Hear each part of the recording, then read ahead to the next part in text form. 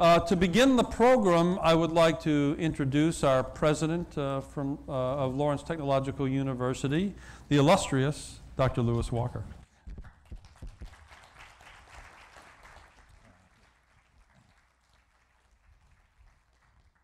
Well, thank you very much, Dean. I don't know whether I can live up to that adjective we put in there or not, but uh, I'm very happy to see so many of you here this evening and uh, want to add my welcome to Lawrence Tech University.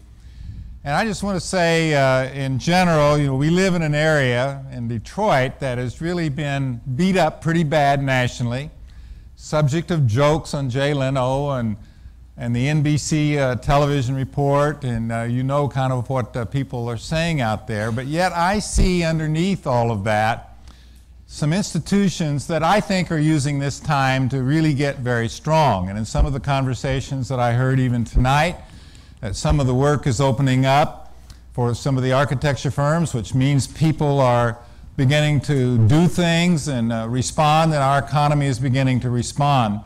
But as I look kind of underlying on our main uh, industry here in the automotive and manufacturing, that's on the rise. And I know some companies that were very near the, the edge that have really come back, and I think they're a much stronger institution, and I think we're going to see many of our companies really become very strong. And I want to tell you that Lawrence Tech, in this time frame, has used this time to really keep moving forward to become very strong. And we're becoming much stronger. Our vision is to be a preeminent private university producing leaders with an entrepreneurial spirit and a global view. And that first word of being preeminent, we're working hard to really make Lawrence Tech a leading technological university in this country. We're not there yet, but we're well on our way, and we're working hard with many initiatives to really move forward and increase a number of items that we've identified as key to being a preeminent university. And I want to say the, a lot of the work that I see in this college really tells me that the College of Architecture is really helping us to move along to be preeminent. And that this college is well on that road to being a preeminent College of Architecture. When I look at the list of our 2010 2011 lecturers that are coming here for the lecture series, you know, I'm not an expert in this, I'm not an architect, but it reads like a who's who of architects and accomplished architects internationally, worldwide. And certainly, our honoree here today is among the top of those and is our alum, and you'll meet him in, in just a few minutes. The, I want to thank the Alumni, Architecture Alumni Association. Uh, I understand this is the 14th such award. And we're very happy to uh, be able to present the award tonight here. And then hear from, uh, uh and I guess it's no secret, but hear from Dan Winey about the work that he's done and the accomplishments that he's had in, in this uh, great field. So I just want to say, uh, watch what we're doing at Lawrence Tech. We have many initiatives from everything from our quest to produce leaders to building that global understanding, that global awareness, and building the entrepreneurial mindset.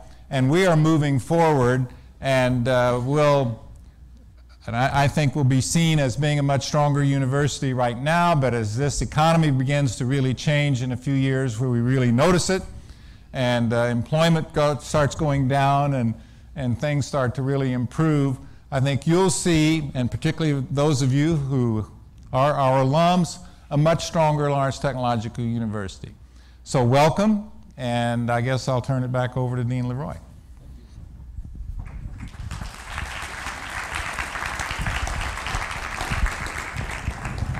Well, I've been admonished, pre admonished, to be brief tonight so that we can get to the speaker.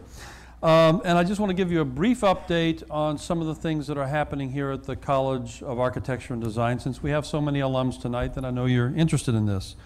Um, in a tough year around the country, in our industry, and in higher education in general, where enrollments are down across, across colleges, we continue at the College of Architecture and Design to do quite well. For example, our graduate program is up by over 30% this year.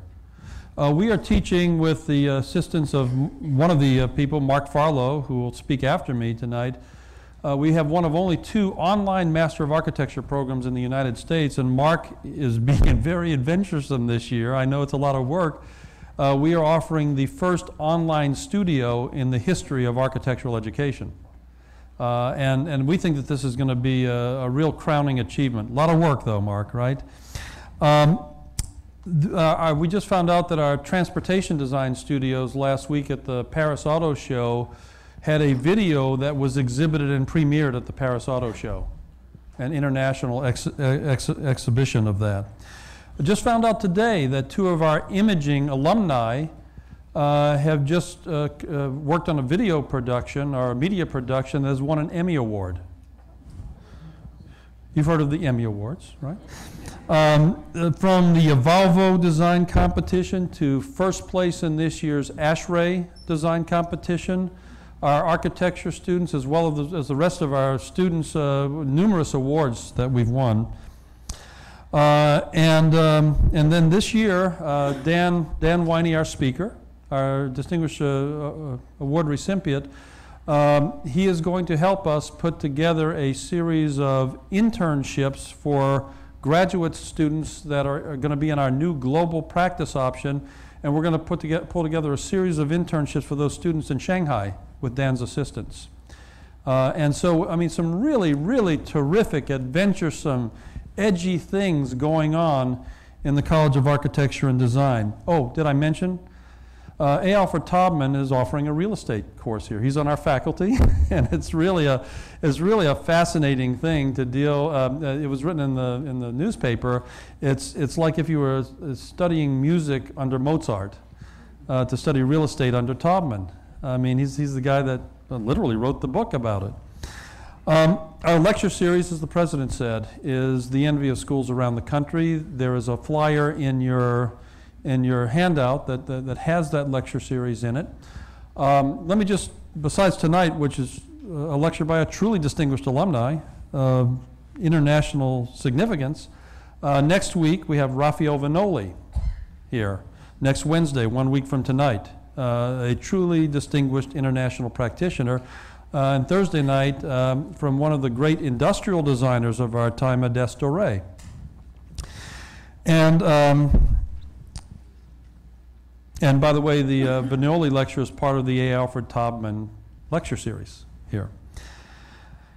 Uh, and then on t- uh, October 27th, uh, Michael Graves will be here. Uh, and uh, we hope everyone attends that, but there's another event associated with that, and it's our AIAS Freedom by Design auction that is the prequel to, to that lecture.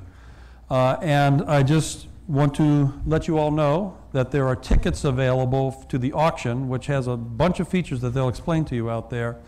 The tickets are, are, are on sale for $25 per ticket, or uh, $35 per ticket, or 25 if you buy four or more. Uh, that includes a private reception uh, with, um, with both Mr. Taubman and Mr. Graves, uh, autograph book signings, and, and uh, by the way, we have two events going on on campus in addition to classes, reserve parking all that kind of stuff. Reserve parking is worth the, the money alone on this campus. So we, we hope that you uh, avail yourself of, of this really terrific event, and, uh, and uh, we think, we think it's, it's going to be one of the highlights of our year, and it, and it helps fund a really good cause, which is our students working with people with disabilities to allow them to gain full access to their homes, which we think is, uh, I mean, let, us keep our, our our eye on the ball. that's, that, that, that's what this fundraiser supports. And uh, so a very worthwhile cause. So we hope you avail yourselves of the opportunities here. And uh, we really, truly appreciate all of our alums uh, for being here tonight and returning to, to see this, uh, to this pres- presentation. So without further ado, I'd like to introduce Mark Farlow, who will introduce our speaker. Mark Farlow is a principal with Victor Saroki and Associates, and he joined the firm in 1992. In addition, Mark is serving as a professor in the Advanced Design Studio at Lawrence Tech, and is teaching this unique online studio. He had three, he has three architecture degrees from Lawrence Tech, including a Master of Architecture, a Bachelor of Architecture, and a Bachelor of Science in Architecture. Mark, you kept on doing it until you got it right, I say. Uh, and he is a past chair of the, of the Architecture Alumni Cabinet at LTU, a member of the Board of Directors uh, for the Birmingham Bloomfield Arts Center, and is president of the Birmingham Rotary Club. So, so I would like to introduce to you, and Mark, we appreciate everything you do, Mark Farlow.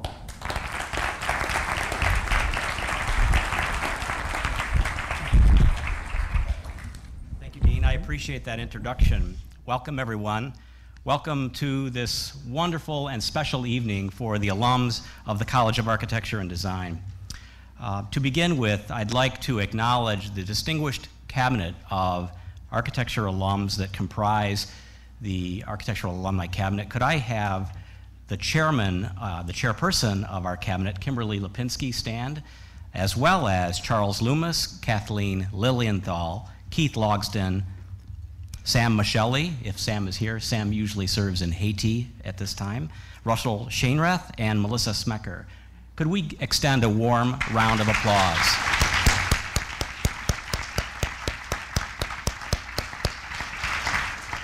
These are fine individuals that have as their goal uh, the promotion and service of uh, philanthropy to the College of Architecture and Design.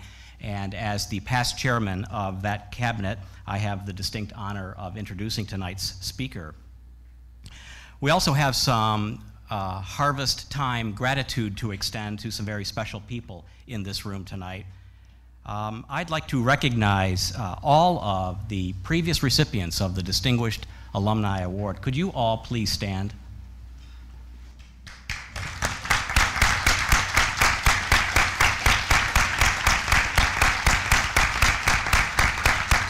Thank you, thank you, ladies and gentlemen. Uh, this is an accomplished group of architects in our community, and to some extent, uh, and in some cases outside of our community. Uh, they are usually uh, involved in the selection of every year's Distinguished Alumni Award recipient. They make recommendations to our cabinet, and our cabinet ratifies their selections.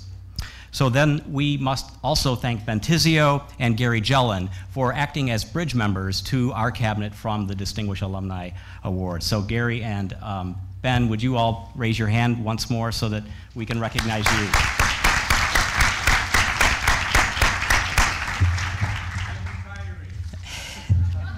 Yes, in fact, this is Ben's last year, and uh, we couldn't get rid of him any sooner than now. It took 14 years for him to get it right. Uh, and so Gary Jellin is taking that baton, and uh, we're very excited about that. Gary's been very involved in our meetings up to this point. Um, we'd also like to thank the staff, the excellent staff at JPRA Architects for the design of the program and all of the collateral material that you were handed when you came into this room. So to JPRA, we'd like to acknowledge you. And I'm not sure if uh, you are all aware, but the cabinet also helps to identify a distinguished graduate.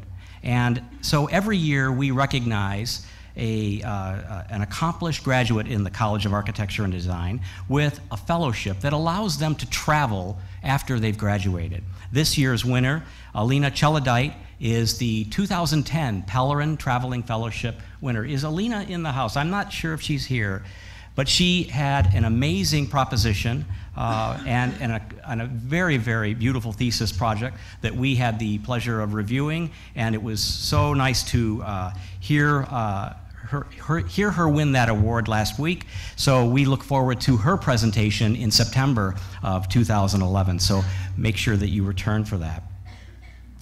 Um, you know, I think the other thing that's important to recognize at harvest time is that Programs like the Pellerin Traveling Fellowship and programs like the Distinguished Alumni Award Program don't come cheap.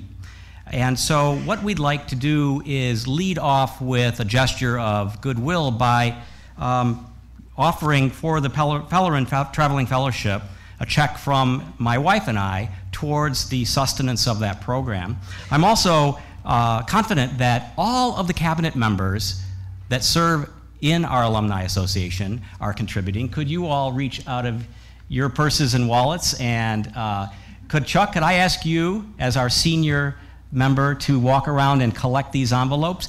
And we'd also like to encourage the previous recipients of the Distinguished Alumni Award, that's you, Art, to um, lighten your wallets with a contribution. We'd love for you to donate anything, and that goes for everyone in the house. And we have some people that will walk around and collect that money. And if you are a little bashful about all the 50s that you have in your wallet, Victor, you can put those discreetly in an envelope that you were given in the handout. We'll collect those envelopes at the end of the evening. Glenn, could you uh, add my envelope to yours, please? Thank you and we are grateful to you, to you for your support. It's very important that we try to uh, uh, make these contributions as alum. We have an obligation and a commitment to the sustenance of these excellent programs. Uh, I think we make the lives of those that come after us as alums better. As we mentioned, tonight's a very special night. Tonight we have Dan Winey from San Francisco's Gensler office here. And, you know, my job was supposed to tell you all about Dan, and you know it would be sort of redundant, Dan, to read this and even to to glean a couple of things to tell everybody about you. Um, so I'm not going to do that, but rather it was my goal, I think, for me to give a snapshot of you to the attendees tonight. So I did some digging and I find out from your colleagues at Gensler that you are, in fact, one of the nicest guys that they know. That you have an ability to put people at ease. That you're an artist, that you're a painter, that you're an avid gardener, and that on Mondays you report to work with dirty fingernails and scuffs and abrasions, which evidence the kinds of projects that you were doing that previous Saturday and Sunday. Victor, you'll like this. He's very fond of arts and crafts design, so on Saturday night, you could talk about CFA Voysey. He travels extensively to China and Japan and to India. He is the oldest of 11 kids, which is why perhaps he is so patient. It takes a lot to get Dan mad or to lose his cool, I'm told. And no matter the circumstances, Dan treats everyone with respect and patience. He's very passionate about mentoring and supporting the development of the junior staff at Gensler and all of the young people in the community. He's extremely generous. He genuinely cares about people, even if it's a personal sacrifice for him. He will help if he can. He is a proud Midwesterner. He is a Giants fan, of course, but whenever the Tigers are in town, he roots for the Tigers. And finally, um, he says things like, or their staff says things like, that they are impressed with how he made his family his number one priority. He's coached his son's baseball team, and if he had to leave a meeting, I hope that you're listening to this, Dom. If he had to leave for a meeting, uh, he'd get up to go to that game, and he'd tell everybody in the meeting exactly why he had to leave. He'd excuse himself and uh, move on to support the activities of his family. It's rare, perhaps, to meet someone uh, that has those qualities uh, in Dan's position. Yet, I think that if you recognize uh, Dan from that perspective and from the perspective that he'll share in a few moments, you'll recognize that he's just like all of us. And that was my goal tonight. So it is with great honor that I have the opportunity tonight to present to you, Dan Winey, the 2010 Distinguished Alumni Award uh, on behalf of the College of Architecture and Design. Dan?